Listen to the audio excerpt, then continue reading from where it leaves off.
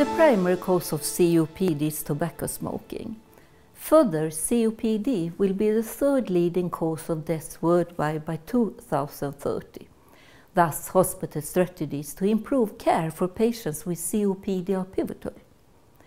Evidence shows that patients with COPD can improve their health and minimize hospital visits through self-management education. However, few patients in COPD are able or are offered to participate in patient education programs.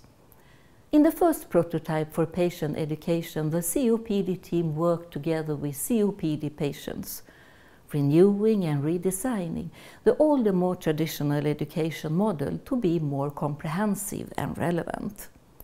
The cooperation with the COPD patients led to a website containing text, image, and videos. On the site, main headings and subheadings link to particular multimedia information material on, for example, smoking cessation, exercising, and how to prevent infections. The website can be used when patients receive a diagnosis as well when they are admitted to the hospital or visit the outpatient clinic in other words, the website enables patients and their relatives to participate in self-management education whenever and wherever they wish.